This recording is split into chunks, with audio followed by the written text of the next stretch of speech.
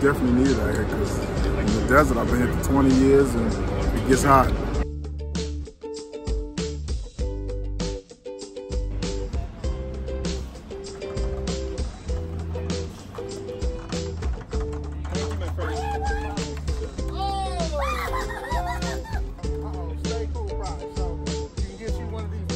Thank you.